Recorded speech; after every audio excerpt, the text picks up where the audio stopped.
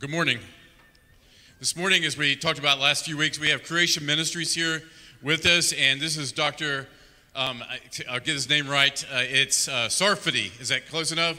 Sarfati. And he is with, uh, like I said, Creation Ministries International. We had Creation Ministries here about seven years ago. Dr. Carter spoke, and we really, uh, as an elder board, felt like it was even more urgent to have Creation Ministries back with us because um, just the way the world is headed right now, you know, assumptions that were true when those of us uh, who are, you know, in our 40s or 50s and above, uh, you know, most people believed in some sort of creator and God and, and just some foundations, but those have all been totally dismissed now in our culture. And so we thought it was really important to have Creation Ministries back. And uh, Dr. Uh, uh, say it again for me. Safferty, yes. Uh, he's written so many books and at the end, we'll get a chance to go by the book table and pick up some of those books, some great children's books on dinosaurs. And so we look forward to hearing more about him. So give him a warm Bainbridge, Georgia welcome.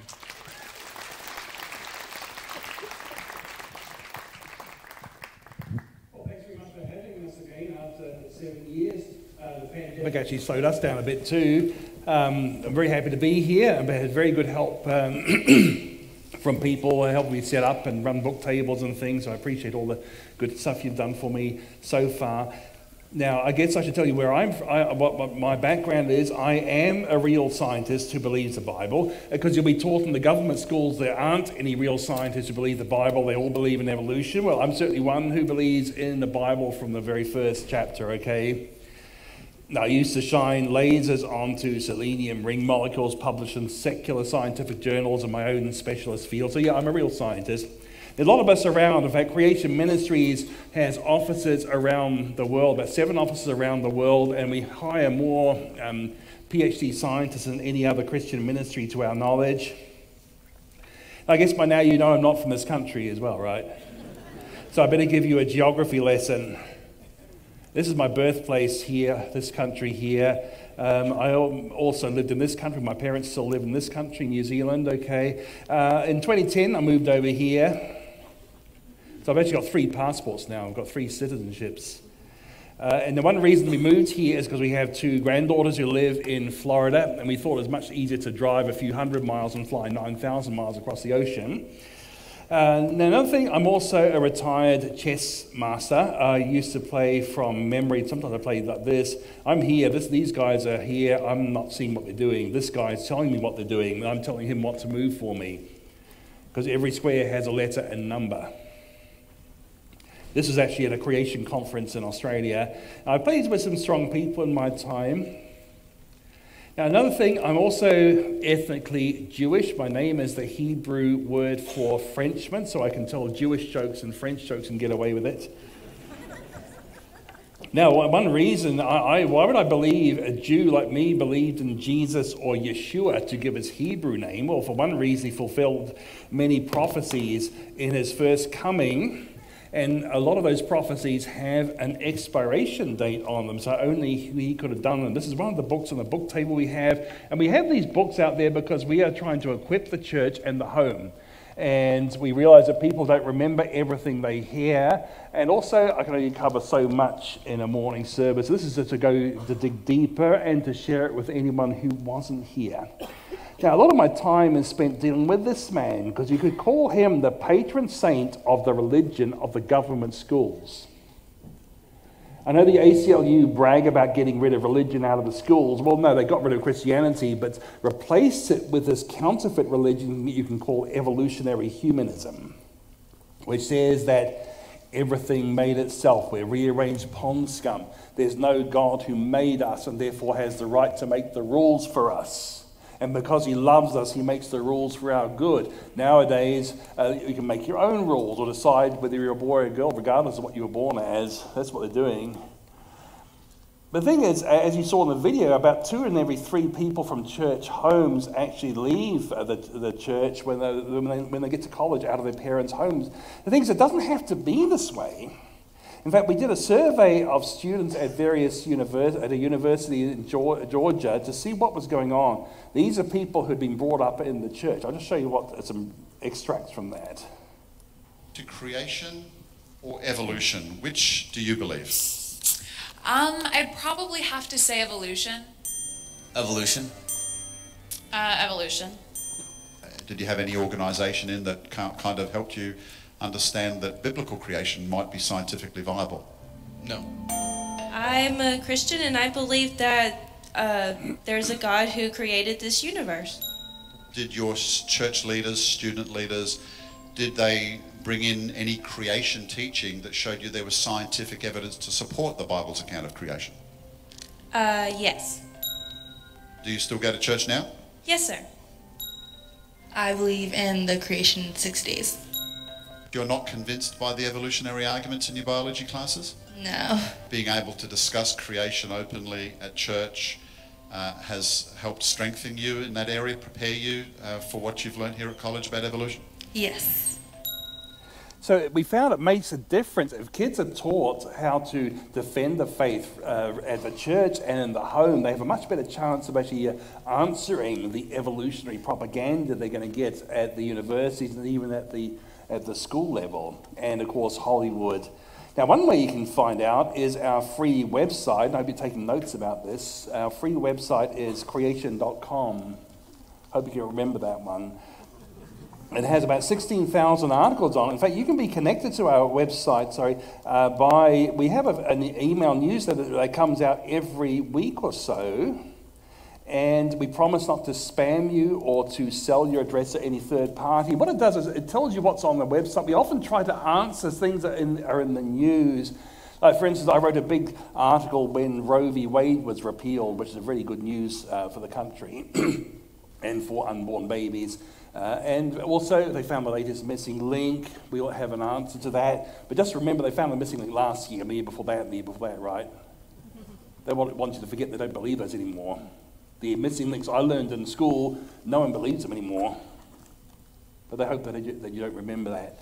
But anyway, this is a, uh, what we can do is, is pass around these um, sign-up sheets. All you need to do put, is put your name and put your email address because it's an email newsletter. We promise not to spam you. We promise not to give or sell your address to any third party. We will protect your privacy. And put your postcode in because that will actually tell you any creation speakers in the area. So you want to pass around, guys? Thanks for your patience waiting. I appreciate you waiting uh, uh, for that. So thanks again, guys. So name and address and postcode. And just to mention some of the books we have there, here is my, the commentary I wrote on Genesis 1 to 11. And what this does is try to show you how what Genesis means and how it's important for all Christian doctrine has, has its beginnings in the early chapters of Genesis. Um, the only commentary in the world that talks about dinosaurs, okay, you won't find that in other, other places, and things like design, as well as how did Jesus and the New Testament understand Genesis. So that's a pretty important thing, what Jesus believed about something. If we're Christians, we should believe what Jesus believed, I would have thought. Um, this is a video series about, basically on, based on that commentary, if you're interested in going through as a Sunday school group, this 12 part series. Now, I, am going to ask you a question, if you don't mind. Um, can you answer this one? What was Jesus' first miraculous act recorded in the Gospels? Can you answer that? Everyone says that. I don't think it's right, though. Um, see, the water into wine, John chapter 2, the wedding at Cana, it was said to be the first sign to his disciples during his earthly ministry. See how it's qualified. But go back a chapter. What do we see? In the beginning was the Word. The Word was with God. The Word was God. And so, who is the Word here? And it tells you through him all things were made. Without him, nothing was made that has been made. So you see, even before he was born, he created everything. Isn't this the first miracle in the Gospels then? And it's pretty important because John wrote his Gospel so people would have uh, eternal life, but he starts off saying that Jesus is God and Creator. So I think it's important for John, it should be important for us. And also, God spoke through various prophets in the Old Testament. I think you Americans say Isaiah, Australia they say Isaiah. And they're both wrong because in Hebrew it's Yeshayahu. Okay. So God spoke through Yeshayahu and said, I am the, the there's one God, uh, one mediator between God and man, the man, sorry, this is this one here. Uh, I am the Lord, and apart from me there is no Savior. So you see the logic here. If Jesus is Savior, he must be God. There's no way around that. He must be God to be Savior. But he's also fully man because he's the mediator between God and man. So he's both fully God and fully man. And the same prophet prophesied this one. He said, The Redeemer will come to Zion to those in Jacob who repent of their sins. Now, the Hebrew Goel actually means kinsman redeemer. And it's translated that way in other parts of the Bible, the book of Ruth. And one qualification for the kinsman redeemer is that he must be related by blood to those whom he redeems. So if Jesus is our kinsman redeemer, he must be our blood relative somehow. Well, how can this be? Well, let's look at the Gospels. Two of the Gospels give his ancestry, the genealogies. Matthew's Gospel, written to Jews, starts from the first Jew, Abraham, through to King David, through to uh, the lines of this blue line here of kings here to Joseph. And notice the dotted line because Joseph wasn't the biological father because Jesus was born of a virgin. So Luke takes care of the biological side. The, Matthew's gospel tra- traces the legal, adopted side. Luke takes care of the biological side because he's actually tracing Mary's line. You can tell from the Greek it's Mary's line, and that's why the names are different. So Luke goes backwards from Mary, traces him to a son of David called Nathan. So Joseph and Mary both come from King David through different sons and David and then Abraham. But Abraham didn't drop out of the sky in Genesis 12. He had human ancestors. Where do you find those? You find those in Genesis 11 and Genesis 5, and Luke quotes those names as real historical people. See, Abraham was son of Terah, son of Nahor, etc., son of Noah, and all the way back up to Adam, who is called the son of God, not the son of an ape. So you can't mix evolution and the Gospels. The Gospels are very clear. Adam is a direct creation of God. He is the ancestor of Jesus. He's the ancestor of everyone else on earth who's ever lived, no matter what race or people group you come from. You come from Adam, and therefore you can be saved through Jesus, your kinsman redeemer. Throw out a historical Adam, you throw out the whole kinsman redeemer idea. And why send missionaries overseas unless those guys also came from Adam and need to know about their kinsman redeemer? So it's not a side issue. And also, Jesus said a few things. He said, Scripture cannot be broken. Now, is Genesis part of Scripture? Last time I checked, it was okay. So he's saying Genesis can't be broken. How often he would say, It is written, he would quote Scripture. And for Jesus, what Scripture said is what God said. He rebuked the Sadducees, saying, Have you not read what was spoken to you by God? See, what you read in the Bible is what God is speaking to us. And you know what the word Bible stands for is basic instructions before leaving earth. I think the Bible is a history book. In fact, you've got theology and you've got morality, but both of those depend on the history of the Bible, the true history of the world. For instance, marriage is under attack in these days, right? Severe attack. But when Jesus was asked about marriage, he said, From the beginning of creation, God made them male and female. Therefore, a man shall leave his father and mother, hold fast to his wife, the two shall become one flesh. And what's he quoting here? You know, he's quoting from the very first two chapters of Genesis here. And he's quoting them as real history, as the basis for marriage. I mean, there are some who claim that Jesus said nothing about gay marriage. You find those in liberal theological cemeteries, I mean, seminaries. Um, but clearly, here he's defining marriage as one male and one female. That's the only type of marriage Jesus recognized. And notice two become one flesh, not more than two. So it's one man and one wife, not one man and four wives. A man leaves his father and mother because the first man, Adam, had no father and mother. The two become one flesh because Eve was taken from Adam's flesh. So when you have the history, then all the morality makes perfect sense. Abandon the history, then the morality hasn't got a leg to stand on. And just a bit of science for you is that the rib is the one bone in the body that will grow back. So God knew what he was doing when he took the rib out, because Adam didn't have to spend his whole life with a missing bone. And that was discovered late 20th century, that ribs will grow, regrow. But it looks like the Bible had it right all along. Now, what about the gospel itself? When people tell me, well, don't worry about Genesis, just preach the gospel. Okay, then let's follow the example of the greatest gospel preacher in history. I don't mean Billy Graham, I mean the Apostle Paul. Fair enough? How did Paul preach the gospel? Well, here's how he did it. The earliest Christian creed on record, 1 Corinthians 15, this great gospel and resurrection chapter in the New Testament. Um, reminds them of the gospel by which you are being saved, that Christ died for our sins in accordance with the scriptures, that he was buried, he raised on the third day in accordance with the scriptures. See, why in accordance with the scriptures? Because the gospel doesn't stand, uh, dangle in a vacuum. It depends on the history revealed by the rest of the Bible. You see, gospel means good news, but you can't understand good news unless you know there's bad news. See, why do we need a Savior? It's because we're sinners. And Paul goes to the scriptures to explain where sin entered the human race and the consequence of it. So, where does he go? You know, he goes to Genesis 3. For as by man came death, by man has come also the resurrection of the dead. For as an Adam all died, so in Christ shall all be made alive. So he's going to Genesis 3 and mentioning Adam by name as the one through whom sin entered the human race, and the consequence was death. God warned Adam, You were made from dust, now you're going to return to dust. That is clearly physical death there. And that's why Jesus, the second person of the Trinity, took on human nature so he could live a perfect human life and then go on the cross and pay the penalty we deserved. And our sins were nailed to him on that cross because right at the end he said, It is finished, which in Greek is one word, tetelestai, and that was written on bills of debt to say paid in full. So he's saying that our sin debt is paid in full when we believe on him because it's all nailed to that cross. But of course, that wasn't the end of it because on the third day, Jesus rose from the dead. He appeared to 500 people at once. He, appeared, he the tomb was empty. No one could doubt that. He ate fish after his resurrection to show it's a physical, bodily resurrection. And Christianity would have been dead on arrival. If they could have found the body of Jesus, that's the end of Christianity. They never could, of course.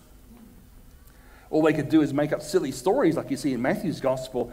Uh, just tell everyone that when you were asleep, the disciples came and sold the body. Well, that's silly because if you're asleep, how could you know that? Okay, makes no sense. They had no answer. So, so Paul's gospel and resurrection chapter goes back to Adam, but also he goes to Genesis 2. He talks about, he basically quotes Genesis 2 here. The first man, Adam, became a living being. Again, Adam is the first man. He's not one of a whole lot of humans evolving from ape like creatures. He's the first man explicitly here. And Jesus is called the last Adam.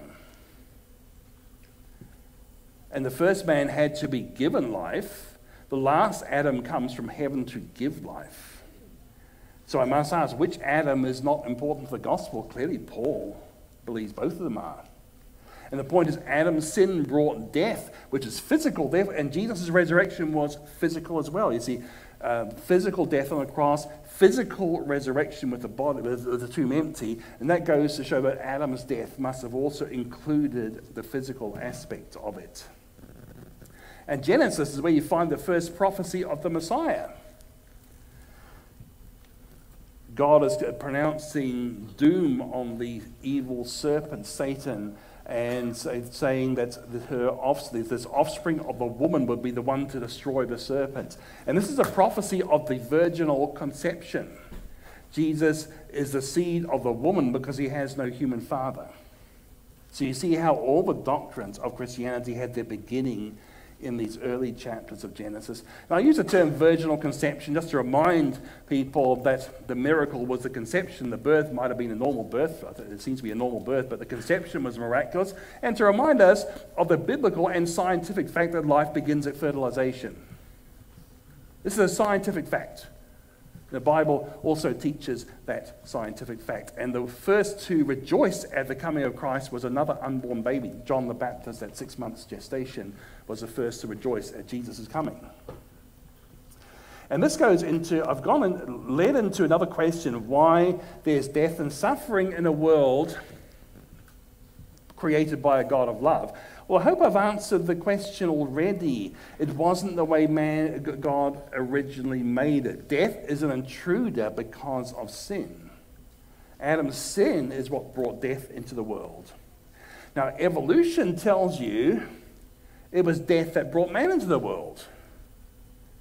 See, these pictures are diametrically opposed to each other. You can't mix them consistently. Now, I'm not saying you're not a Christian if you believe in evolution. We don't say that. We're saying there's a huge logical disconnect. trying to mix the two. And since Jesus in John 1 is called the Logos, that's the Greek word. In the beginning was the words. In the beginning was the Logos, and that's where we get word logic from. So, being a Christian, we should be logical in our faith and not hold to logical contradictions like death being the way that man arose, and yet the Bible's quite clear that death is the result of man's sin. Now, the founding chairman of Creation Ministries was a Christian evolutionist for decades, but he realized eventually he had to, he could not mix these two pictures, and he repented of this picture. He said he's going to trust God's word on this picture. And this even gets to the idea of, of the time frame, why it's a big deal. I'm going to show you why the, why the long time frame is a problem. And, and I'm going back to the Garden of Eden Adam and Eve here, and God said everything here was very good. That's a pretty emphatic statement, especially in Genesis 1. God calls it good seven times, and seven's a number of perfection. The seventh time is very good. He's telling us there's no death or suffering or evil in the finished creation. But see, millions of years though, that came about around 200 years ago where certain people decided they didn't want to trust the Bible as a true record of history. They said that we must explain rock layers by things we see happening today. There's no, there's no global flood happening today, so we rule that out by decree that it can't be the cause of the rock layers. So things are going slowly and gradually today, so it takes millions of years to build up these rock layers. That's where the millions of years came from this assumption of slow and gradual changes.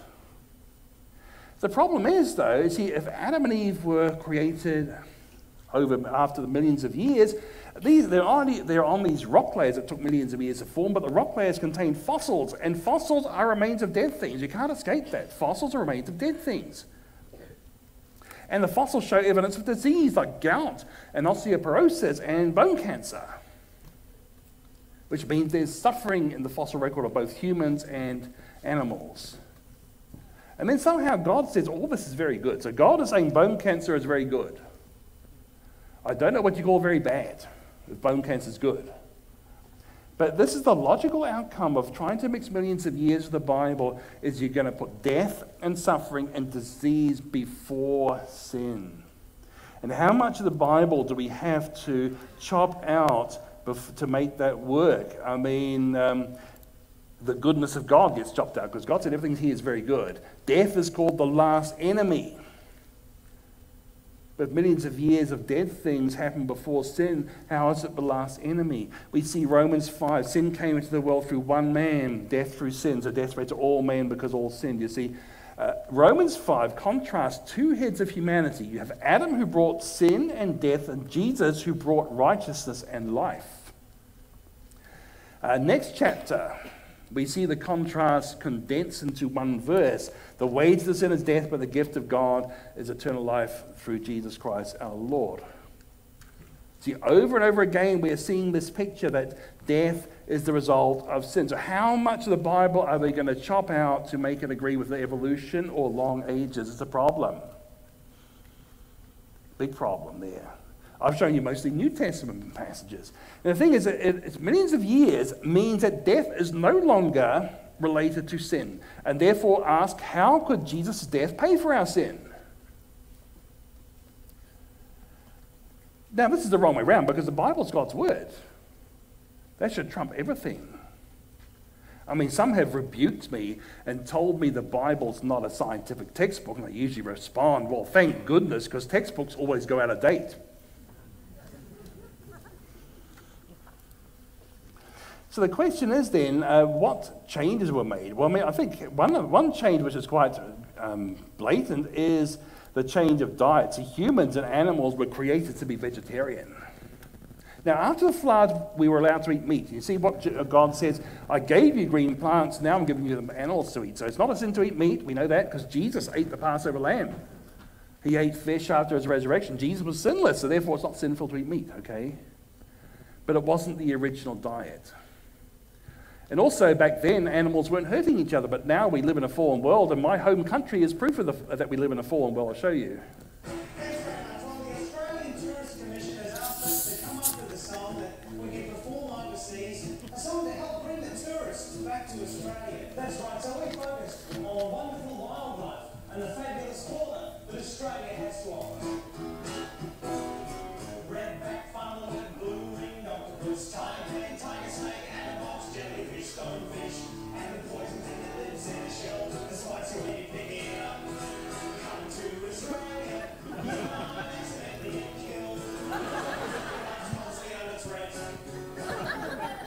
Yeah, so we, we live in a fallen world, okay? That's the main thing I'm trying to tell you here. Um, but fortunately, this is not the end. God wins, okay? God is always going to win. And there's a promise of restoration, redemption, all these sort of re words uh, that imply a perfect condition that has been lost. You see the idea? What does restore mean? It means going back to what you had originally. So if millions of years of death and suffering are in our past, Restoration means going back to millions of years of death and suffering. Oh, not really much to look forward to. And the Bible is very clear that uh, we do have something to look forward to. There will be no more tears or death or pain, sorrow, because those things are the result of the curse, and the curse will be abolished. And the tree of life will once again exist. What does this remind you of? It reminds you of Eden before sin. See how the Bible, right at the end, goes full circle back to Eden, just reminding us that God created everything very good. In fact, the new heavens and new earth will be better than Eden because we won't be able to sin. There'll be no more possibility of sinning in the new heavens and new earth. But you see how you can't understand the, any of the Bible unless you know the first 11 chapters. And the New Testament authors expected you to know Genesis. So the question is then, of how did fossils form after Adam's sin? What could have caused that? Well, I think the Bible has three whole chapters explaining that. See, Jesus affirmed the flood was real, Noah is real, and the ark is real. He clearly believed it. And when you go to Genesis, you look at this pile up of universal language here. All the high mountains under the whole heaven, and all flesh died, all mankind everything on the dry land, and only Noah was left. Okay, so this is quite clearly a globe covering flood here. I mean, a local flood that covered just the Middle East and Iraq or whatever makes no sense. Why do you build an ocean liner size ark longer than a football field if it's just a local flood? Just migrate like Lot did from Sodom.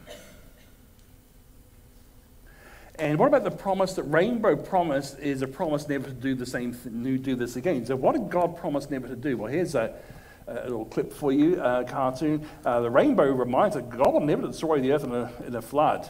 And one of my Christian college professors said the flood was just confined to the Middle East. Uh, so God will never send another local flood. Because I believe God keeps his promises, and God has promised not to do another global flood. God has kept that promise. God never breaks promises. So let's contrast the biblical view with the secular view of fossil formation. This comes from an Australian high school biology book around my vintage. How does a fossil form? Well, okay, left panel, fish is swimming, and then it dies and sinks to the bottom. You see on the top panel, the mountains get eroded away over millions of years and wash silt into the ocean and bury that fish slowly over millions of years to form the fossil. And the right panel, uh, same sort of thing, and look how worn away the land is. So this is millions of years to take to form a fossil. That's what I tell you. That's what the museums tell you, the textbooks tell you. But let's do some real science, you know, observation, testing repeating. Some of you keep fish, don't you? You have pet fish. When you lose one, where do you find the dead one? Where do you find it? Floating on the top, right? You know this, you see. You don't have to be a PhD scientist or a few evolutionists. Simple things like this. That dead fish float when they die. They don't sink. We know this picture makes no sense. This is what happens. And, what happens to the floating dead fish? I mean, you know what happens if you don't bury, get, take the fish out? It's going to rot away and fall apart, and the scavengers will get to it, and there'll be nothing left. Maybe you've been scuba diving and found uh, the ocean floor filled with fossilizing dead fish? Have you ever seen fossil roadkill? No, this is not the right way, is it? So here's a better way. You have the fishy swimming, but this time you have the flood erupting in the fountains of the great deep. uh, with the first call. Before the rainfall, you have these underwater eruptions, a fountain of the great deep. So you've got these huge underwater mudslides, and the poor fish hasn't got a chance to escape and is buried very deeply, okay? So now the scavengers can't get to it. The soft parts might rot away, but the mud is full of minerals that turn the bone into stone. But the thing is, it has to be buried quite deeply with mineral rich mud. And if you do that, fossils will form in a, in a day or so. It doesn't take millions of years to do, to do that. And when you look at some of the fossils around, I think you'll see why they must be very quickly formed. Like this is an ichthyosaur, a reptile version of a dolphin, and she's giving birth here. It's a baby. Was this poor thing living, uh, giving birth over millions of years while slowly being buried? I mean, I've heard of long, difficult labor, but really. and what about you guys who own fish? When you feed them, do they eat quickly or slowly? Quick or slow? Quick, I think you're right. So, what do you think of this picture here? In the middle of his lunch, right? I mean, imagine you go to your you go to McDonald's, get your cholesterol burger, chomp, and you fossilize like this. You see how quickly this would have happened? You see, it couldn't be slow. It had to be quick to get something like that. And we have all sorts of fossils that really show they had to be buried quickly, like these fighting dinosaurs from Mongolia buried in the middle of a fight here. This is what they're doing, and they're actually buried in this position. No time to escape. They're buried extremely deeply in that fighting pose. And speaking of dinosaurs, some dinosaur bones still have soft, oops, sorry, still have some soft tissue in them. And I let the discoverer explain the situation. Dr. Mary Schweitzer is on 60 Minutes explaining why this is really quite a bombshell. What happened next happened by mistake. Mary put some fragments of the bone in acid to dissolve away the outermost layer of mineral. But the acid worked too fast, and all the mineral dissolved away. Being a fossil, there should have been nothing left. But there was, and it was elastic, like living tissues. This is the oh, piece. No. She showed us video she took under the microscope. That's really what happened? Yes. That's the dinosaur. Without mineral now. That's what was left. It looked like the soft tissue she would have expected to find if it had been modern bone. This was impossible. This bone was 68 million years old. So you see this and you think, what? You say, I didn't want to tell anybody. you'd be ridiculed, yes. right? And so I, I said to my technician, okay, do it again. I don't believe it. And yet, in sample after sample, they were there. Things that looked suspiciously like flexible, transparent blood vessels. She finally mustered the courage to tell Jack. She said she dissolved the bone away and there were blood vessels. And, you know, I was like shocked. I mean, how could that be? How could that be? That's right. The things Mary was finding inside dinosaur bones. Look at that. Blood vessels, and even what seemed to be intact cells pose a radical challenge to the existing rules of science that organic material can't possibly survive even a million years, let alone 68 million. See, what an admission there. The rules of science say it can't even be a million years old, but they want to have their faith, their blind faith, that it's 68 million years old despite the science. I think I'm going to trust the science on this, not their religious belief. And let's look at one more thing. A lot of the things, I've got a whole talk just on the flood evidences. In fact, I'm doing a whole talk on dinosaurs to the chapel, um, to the kids at the chapel tomorrow as well. So, got a few different specialists talk to. But here's one interesting thing you might be might like. Um, and this is how quickly certain things can form that people don't seem to realize how quickly they form. Uh, like, for instance, canyons, like the Grand Canyon. One myth is it takes millions of years to form, but you might recall about 40 years ago, you have the eruption of Mount St. Helens in Washington state, and one result was carving this canyon, the little Grand Canyon, is still over 100 feet deep. How long did it take? Did it take millions of years to carve this? Actually, it took only a single afternoon. Yet lots of water over, doesn't need lots of time. And in fact, in many physical processes, you can trade intensity for time. So if you have something as intense as a global flood, you don't need lots of time. And if you haven't got lots of time, evolution is impossible. Now, I'm not saying evolution is possible even with, with lots of time, but it's certainly not possible with, with a short time period. And here's another canyon from that. This took two and a half years to form. And what we have here is a river going through, but here the river did not cause the canyon, the canyon caused the river. And we find this sort of thing across in the, uh, throughout the world. The river is much smaller than the valley it's in, which points to a much larger amount of water covering, carving out the valley and the river following the path already carved out for it. Even the, got the Grand Canyon, it's very, you can stand on the rim and it's quite hard to see the small Colorado River down below. So again, the Colorado River couldn't have carved that Grand Canyon. For one thing, it would have had to fly uphill to do it, and I don't see rivers going uphill very often. So here's an example of how uh, we see so much evidence that things happen much more quickly than people think. And that's if you understand the, the flood was global, you, you have a much better handle of biblical history. Now, going back to why I come to churches to defend Genesis, well, Jesus, in fact, said, If I told you earthly things and you don't believe, how can you believe if I tell you heavenly things? See, if we, as a, the wider church body, don't trust the Bible on earthly things like creation in six ordinary days and a global flood, why would we trust it on the heavenly things that Jesus is our Lord and Savior? And yet we're supposed to uh, be prepared to make a defense or an answer to anyone who asks you for the reason for the hope that he had. Christianity is not a blind faith. In fact, Jesus told us to love the Lord your God with your heart, soul, strength, and mind. There's nothing in the Bible that says you, you uh, check in your brains at the church door. We're supposed to engage our mind. We're supposed to nourish it on God's word.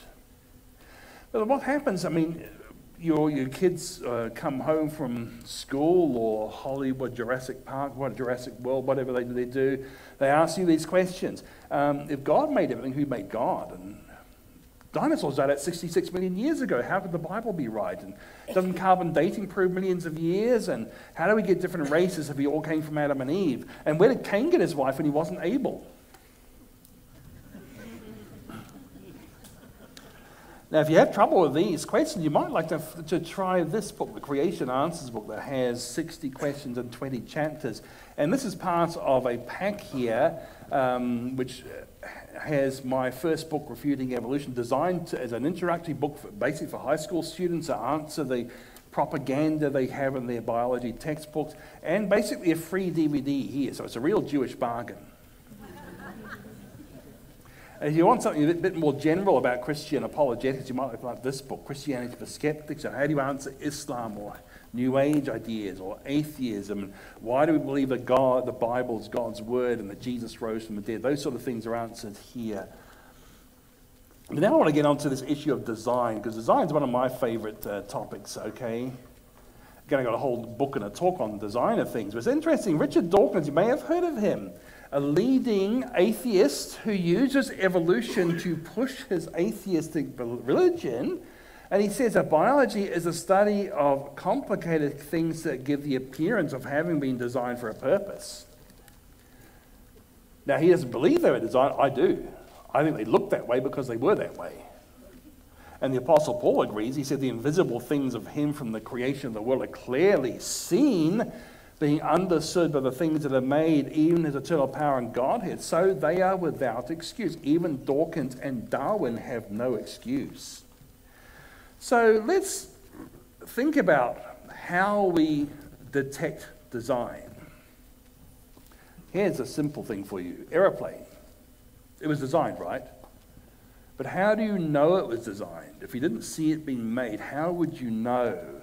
Well, I think one thing you might look for is it has loads of correct components. But do you realize an aeroplane is made up totally of non flying parts. I mean, does a wing fly? Does a cockpit fly? Does an engine fly? Well, how do I get back to Australia then?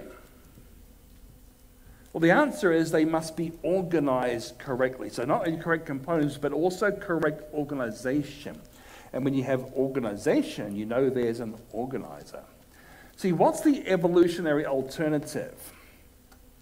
Well, evolution basically says matter plus time plus energy produces organization. So I'm going to test that. I'm going to use uh, this scenario for making an aeroplane. I have a junkyard of aeroplane parts for the matter. I have a tornado for the energy, and as much time as you want. And you're getting an aeroplane out of this. How realistic is that? Maybe not, huh? Now, what if I told you instead this is a picture of, an, of the tornado hitting the aeroplane and turning it into a junkyard? Is that better? It is. So why do you think it is? What's the, uh, why is this better? What do you think? Well, the principle is actually quite important to know. It's actually not too hard. The reason is there are many more ways of being a junkyard than being an aeroplane. That's all. So when you have time and energy, you go to the more probable state, the junkyard. I mean, parents, you know this. Do you have to tell your children to mess up their rooms? Because there are many more ways of being messy than being tidy. Very useful principle. Now let's compare that to living creatures. See, living creatures, by definition, make copies of themselves. Like your children are sort of copies of you. And your body has about a trillion, uh, 30 trillion cells, and your cells keep on making copies of themselves. That's how your body grows and repairs, because you have these self copying cells, which are microscopic. But far more complicated than anything we can make. See, the airplanes don't have, the jet plane doesn't have baby jets. And the Boeing factory makes new jet planes, but it doesn't make you a new factory. It's not self copying, but every living thing is self copying.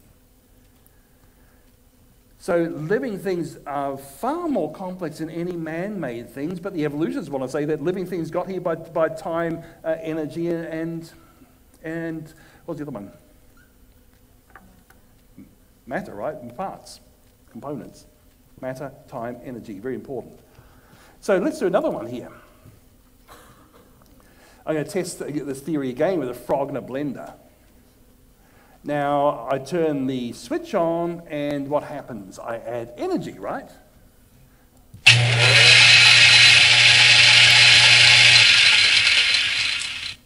And the result's a frog smoothie. Now, if I left this going for millions of years, what would, uh, could I get a, would a frog hop out of here if I left it long enough?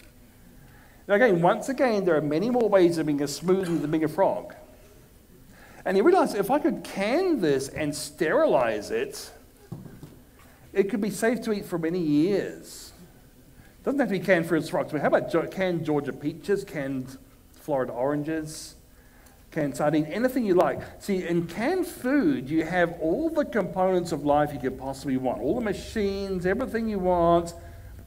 But if it's sterile, sterilized and sealed, no living thing will ever grow in there and give you food poisoning, because food poisoning is caused by germs, which are living creatures, microscopic living creatures.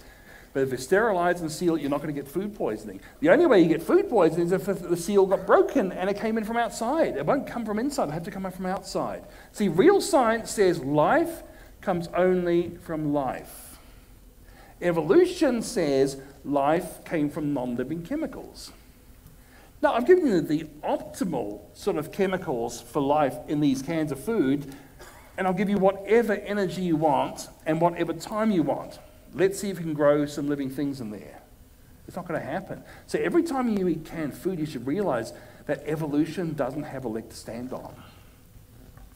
Now, I want to give you an example of why this is the, the, the case. Uh, one of the many things that we have is some quite complicated machines. So, like one of them makes this stuff. See, so you eat food for energy, but in the cell, the energy is this stuff here called ATP. So it looks like a complicated chemical, it probably is. Uh, but now uh, we, we know how that our body makes its own weight in this stuff every day and consumes it just about as fast as it makes it. Cyanide kills you by stopping this from being made. So you see how important this stuff is. But now we know it's made by the tiniest motor in the universe.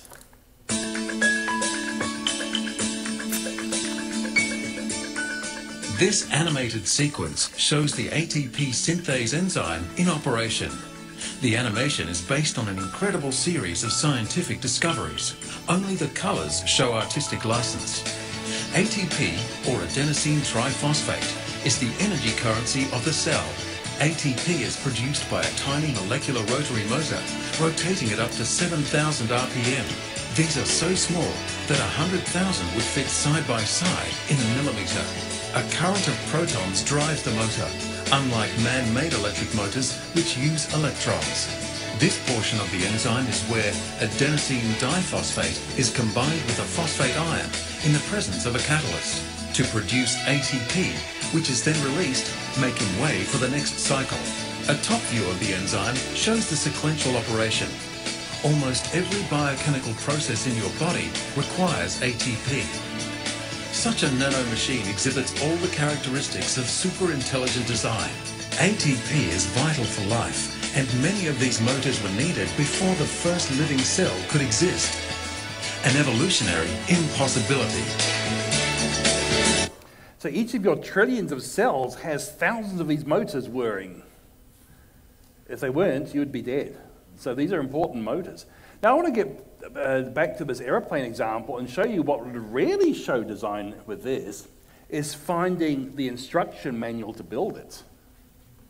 See, if we not just have the machinery and the organization, but also the instructions, that really shows design.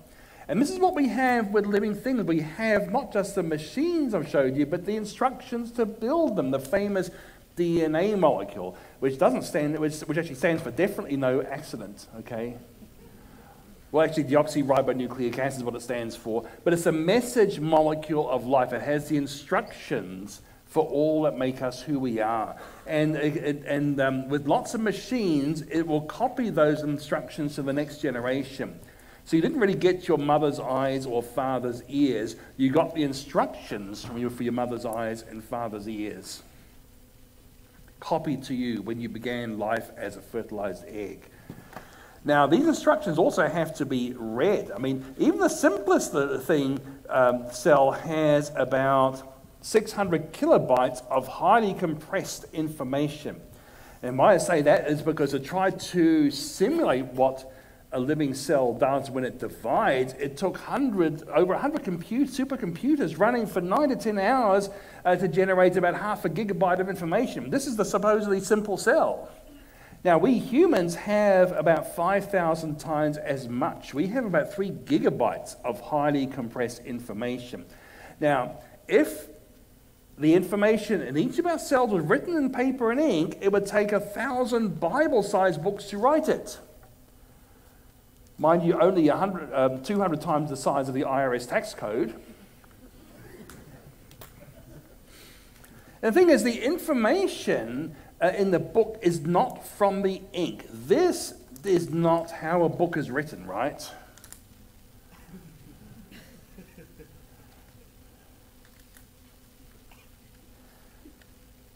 So the information comes from outside the ink. It comes from the author who arranges the ink into letters and words and sentences and paragraphs.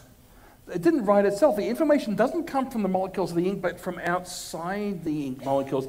In exactly the same way, there's nothing in the chemistry of DNA that makes it write the message of life. Again, the information comes from outside. It's written on DNA, just like the message of a book is written with ink, but it doesn't come from the ink or the DNA. And it means that you have to have a language. See, my books won't matter to you if you don't read English like for instance, if I gave you a gift, you'd be happy, right? See, gift means something for free, right? And a good thing, hopefully. Now, if you were Germans, would you like me to give you a gift? Well, gift in German means poison. I kid you not. In fact, a German uh, confirmed this after one of my talks in New Zealand, and he said when he first came to New Zealand, he was appalled by our Christmas custom because we try to poison our families. So you see why, why you need the right language. Otherwise, you get the wrong message. But in fact, DNA is actually much better than a human language because there's multiple languages on the same part of a DNA. See, if one language shows at least human intelligence, what does multiple languages show? But intelligence far advanced, far beyond our own. Like a book you can read in English and German and backwards in every tenth letter and the same letters, uh, multiple languages simultaneously. And just the thing is, the languages have to be decoded. And this requires lots of machines. I'll show you some of the machines uh, reading one of the languages involved. This animation demonstrates how the digital information encoded within DNA is used to direct protein synthesis. This is a DNA double helix containing the digital code which directs the cell in all aspects of operation. And here we see a protein complex called an RNA polymerase traveling down the DNA strand. As it moves down the strand, it carefully unwinds the DNA, preparing it for transcription. Inside the polymerase, we see a single-stranded copy of the original instructions being assembled as individual bases are positioned and added to the growing strand. A stop code marks the end of the protein specification, at which point this copy, known as a messenger RNA transcript, exits the polymerase and heads towards a two-part chemical manufacturing machine called the ribosome. While the messenger RNA moves towards the ribosome, transfer RNA molecules attach to specific amino acids in preparation for assembly. As the messenger RNA transcript passes through the ribosome, the process of translation begins. Using the instructions encoded on the messenger RNA as a template, the transfer RNA molecules align specific sequences of bases to corresponding amino acids, creating a protein chain. As this chain exits the ribosome, it is met by chaperones which prevent premature folding, while escorting the protein to a barrel-shaped machine called a chaperonin.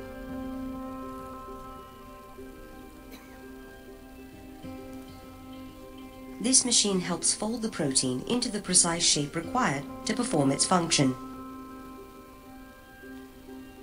Although it is unclear how the chaperonin achieves this, we do know that accurate folding is essential in order for the protein to accomplish its intended function.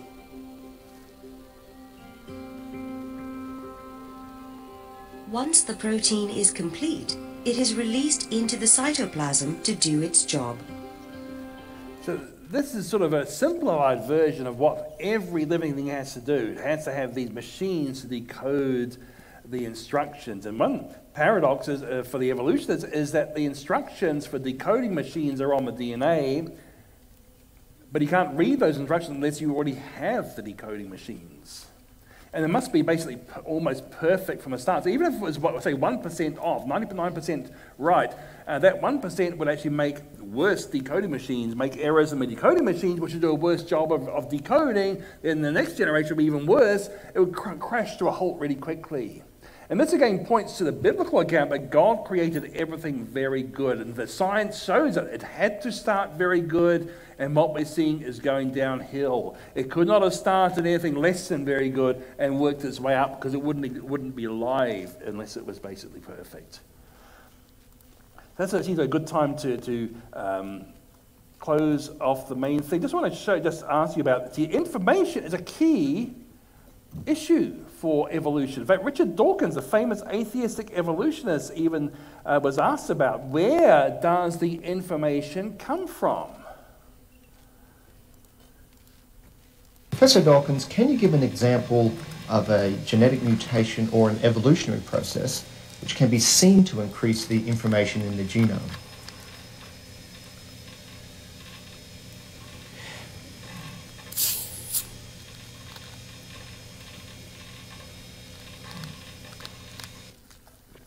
Even the world champion evolutionist couldn't answer that question. He's also said evolution has been observed. It's just that it hasn't been observed while it's happening. And this actually helps to, to he, he's pretty good at helping us do what we do because he actually said um, evolution, oh, sorry, Darwin made it possible to be an intellectually fulfilled atheist. You see, he needs evolution as a crutch for his atheistic religion. And what are we supposed to do about it? Sorry.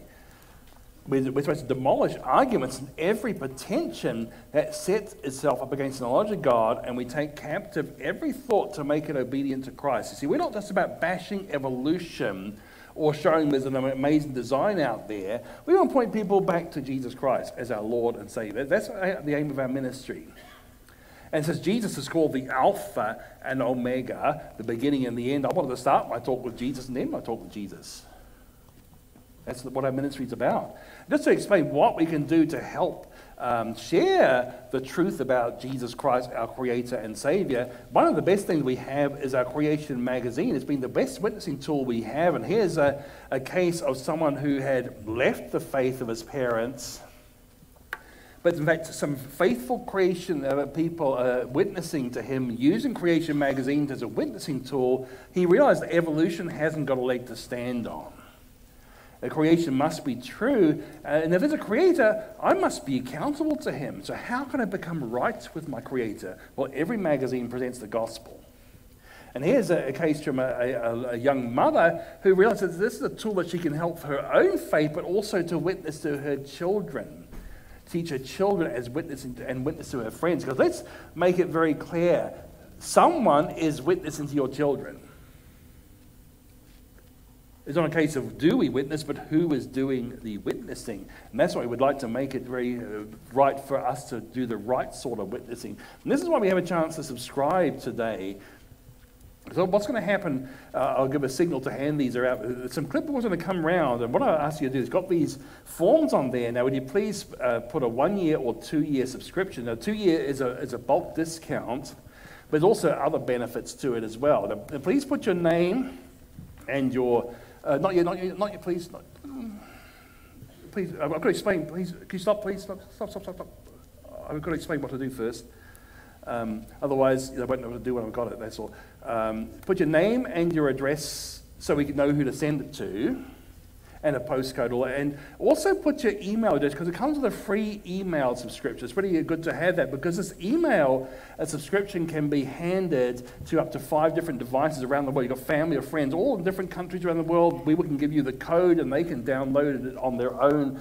Then you'll have the, have the paper one for yourself and give a digital one to your friends or your family members. And please don't go away with it. After you fill it out, please give it to the nice people who've been helping me at the book table. It'll be very helpful um, and receive some gifts. And these are English gifts, not German gifts, okay?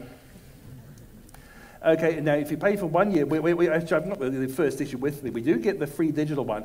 We will give you the first issue. As soon as I process at the office, uh, the, the, your first issue will come really quickly. As soon as this gets processed, which is not going to be far away. And if you pay for two years, you get these two additional DVDs. One of them is a, a documentary on the Darwin on Darwin's life. We did that for the Darwin Bicentennial in uh, 2009, basically showing all the locations he visited, his house, and what made him tick. And the I remember that uh, clip I showed you right at the beginning? Well, I've got the full video here.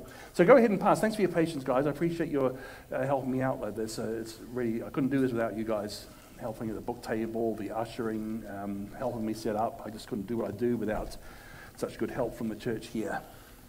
And uh, it's a quarterly magazine, and, other months you're going to get some nice, nice things as well. You've got some uh, nice uh, newsletter that come with all sorts of good information there. And just to show you what sort of things are in there, it's really good to, for your kids as well. Here's an article, classic article, How Do Dating Methods Work?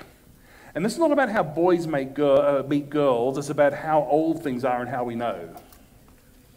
And there's an example of how things can form really quickly, like these.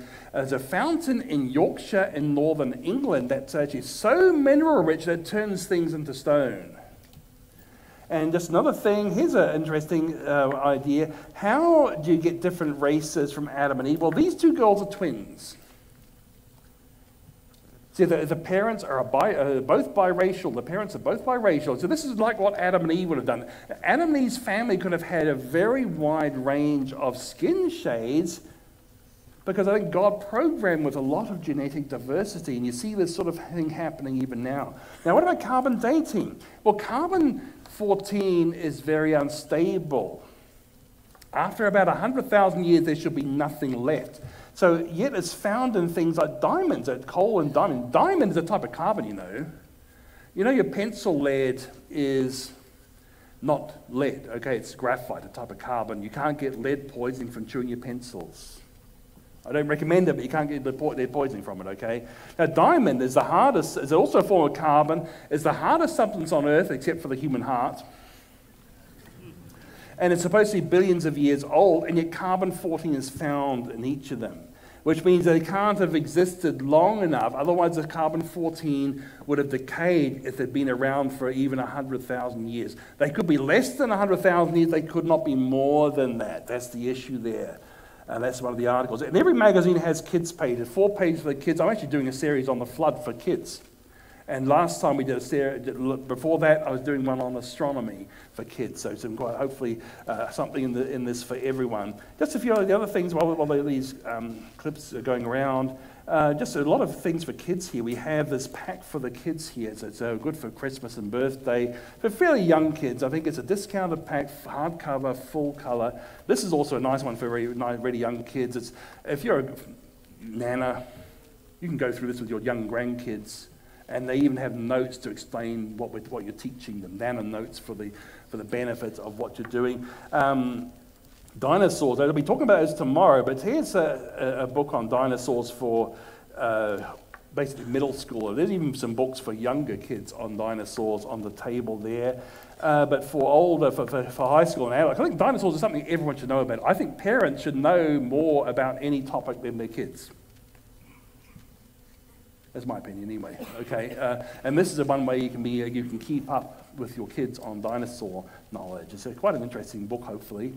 Uh, all sorts of different pictures. We, we try and make them very attractive for people.